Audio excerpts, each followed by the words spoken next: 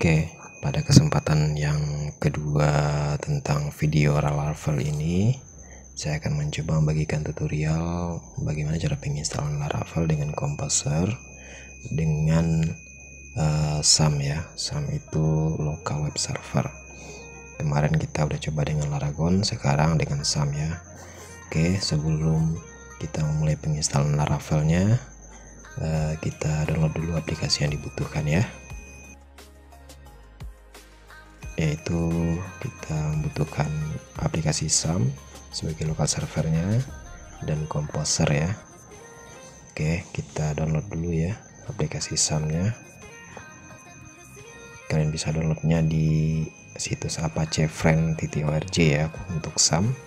Kemudian untuk komposernya kalian bisa download di getcomposer.org kita download dulu ya kedua aplikasi ini kita tunggu sebentar. Nah di sini saya download yang versi terbaru ya yang untuk Windows ya. Yang versi 7.3.31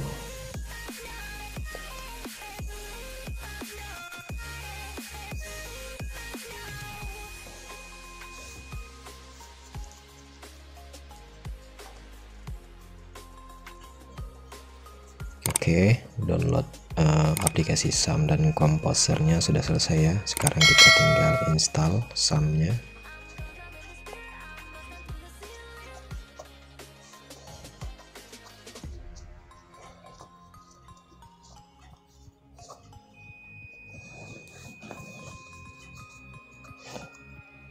Oke, kita next. Nah, di sini direktorinya nanti akan berada pada direktori C dengan folder SAM ya. Jadi SAMnya nanti berada di uh, direktori C dengan direktori yang namanya SAM ya. Oke kita tunggu saja ya. Ini proses penginstalan SAMnya cukup lama. Jadi videonya mungkin saya percepat dikit ya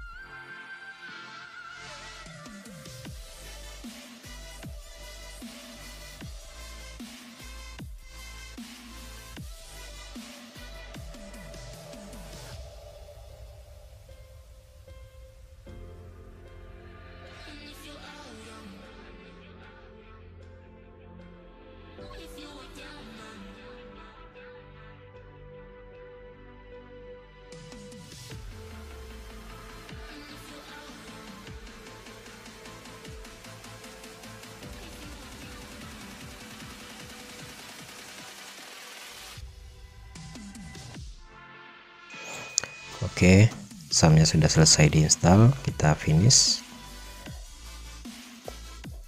Dan SAM-nya sudah tampil, sekarang kita tinggal jalankan service Apache sama MySQL pada SAM control panelnya ya. Kita start saja. Nah, Apache-nya sudah running, kemudian MySQL-nya juga kita start dan juga sudah running ya. Oke, kita tes dulu apakah SAM-nya local web server yang sudah jalan. Kita ketik localhost ya. Nah, kalau sudah tampil seperti ini, sudah tampil dashboard SAM-nya, maka local web server dengan SAM kita sudah jalan ya.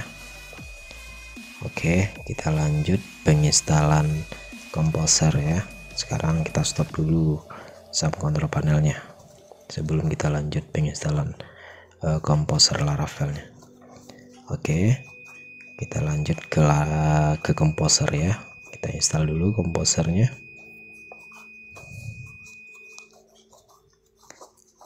Oke next. Nah sekarang kita ganti dulu ya. Kemarin kita pakai Laragon sekarang kita pakai SAM. Jadi posisi PHP nya berada di C uh, folder SAM. Kita buka kemudian kita cari uh, direktori PHP ya nah ini. Kita buka kemudian kita pilih yang PHP TXC ya. Nah karena kita menggunakan SAM jadi harus diganti dulu ke PHP exe yang di direktori SAM oke kita next lanjut. Install. Oke kita tunggu lagi proses penginstalannya ya Oke. Oke selesai. Penginstalan komposer ya.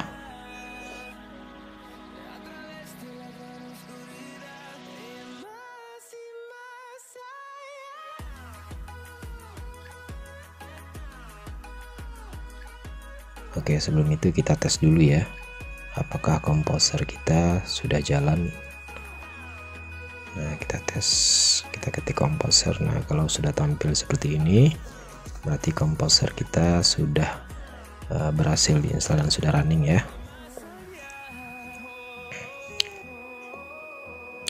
Oke sekarang kita lanjut tahap berikutnya yaitu uh, pembuatan project baru ya. Pada Laravel kita jalankan lagi SAM control panelnya ya. Kita start dulu. Oke. Nanti project baru Laravel kita akan berada pada SAM yaitu di htdocs ya. Nah, nanti project baru kita itu berada di folder htdocs di direktori SAM ya. Kita mulai saja bikin project baru Laravelnya ya. Jadi kita buka dulu command line lalu kita arahin ke folder C sum htdoc ya caranya ketik C enter cd sum kemudian enter cd htdocs ya. Oke. Nah kita cek dulu dengan ketik dir ya. Nah kalau sudah tampil isi pada htdocs ini berarti kita sudah berada di direktori htdoc pada sum ya. Oke kita langsung mulai saja pembuatan create projectnya yaitu dengan script composer create project laravel slash laravel. Kemudian nama project baru kalian ya. Ini saya coba bikin dengan nama web test aja ya. Nah di sini kuncinya ya pembuatan project baru laravel. Kita enter. Nah jadi itu ada uh, sudah berjalan ya proses pembuatan project baru Laravel kita ya dengan nama projectnya yaitu web test jadi kuncinya uh, untuk membuat project baru pada dengan menggunakan Composer dan SAM sebagai local web servernya itu tadi pada script tadi ya Composer create project Laravel slash Laravel kemudian spasi nama project baru kalian oke kita tunggu ya proses uh, penginstalan project barunya.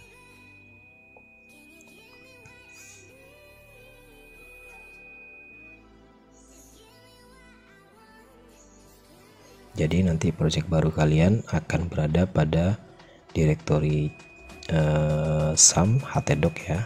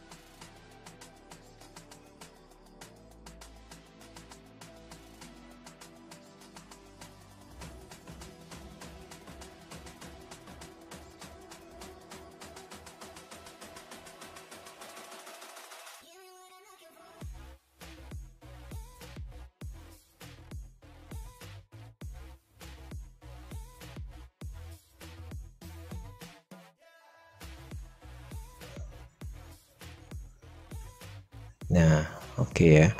Di sini sudah tertulis aplikasi Kelly successfully. Berarti project baru kita sudah berhasil kita buat ya. Oke. Okay.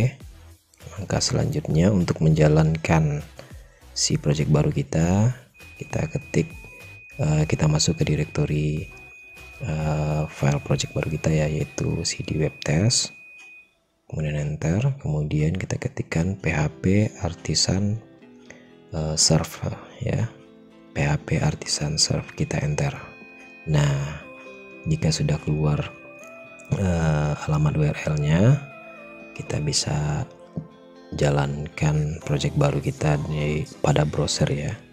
Itu kita ketik alamat ini ya. Http 127.00.1 por 8000 atau bisa diganti dengan localhost por 8000 ya karena 127.00.1 itu sama saja dengan localhost ya.